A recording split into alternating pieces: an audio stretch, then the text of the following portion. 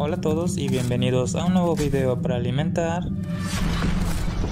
tu instinto acuarista.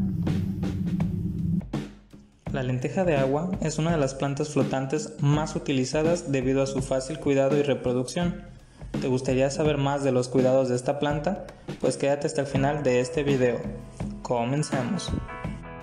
La lenteja de agua o lema minor es una planta pequeña de apenas unos milímetros de diámetro. Al ser flotante, no se adhiere a ninguna decoración ni requiere uso de sustrato. Consta de unas pequeñas hojas externas que le permiten mantenerse a flote en contacto con la columna de aire y una pequeña raíz que crece alrededor de 2 centímetros con una coloración blanquecina. Debido a su rápida propagación en el medio ambiente, es autóctona de muchas partes del mundo en donde se proporcionan sus cuidados básicos. En algunos países su comercialización está prohibida por ser considerada invasora.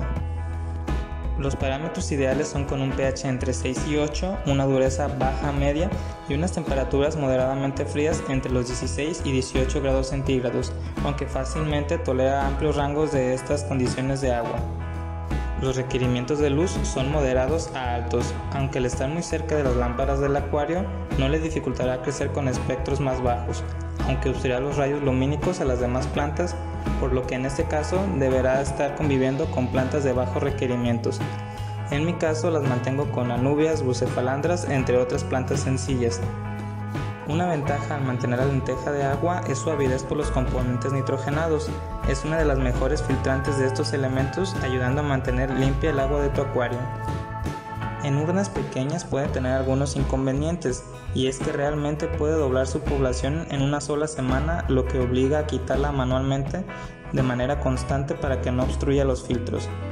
Ayudará a tener dispositivos superficiales que regulen su crecimiento se adhiere a las manos y a las redes lo que dificulta la higiene de los cristales, así que yo generalmente las separo para poder hacer la rutina semanal de mantenimiento. Las gambas son uno de los seres que más agradecen tener esta planta, pues les encanta subir hasta las raíces y pastar el biofilm que crece alrededor de ellas. Algunos peces podrían alimentarse de las hojas, tal es el caso de las especies herbívoras o glotones como las carpas y los goldfish. También es apta para mantener en estanques con otras plantas flotantes de mayor tamaño con las que se sentirá muy confortables. En conclusión, si te gusta el aspecto de la superficie que da y reúne las condiciones mínimas descritas, es recomendable para tu acuario y apta para todo tipo de acuaristas. Si te gustó el video no olvides darnos un like y suscribirte al canal para que no te pierdas de nuestro contenido y seguir alimentando tu instinto acuarista. Hasta la próxima.